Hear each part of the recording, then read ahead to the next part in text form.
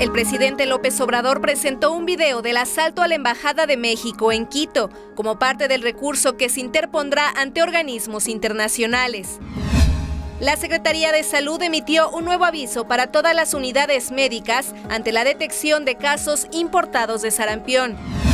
En Zacatelco, Tlaxcala, dos policías fueron golpeados por habitantes que los confundieron con ladrones. Uno de los agentes murió y el otro está grave.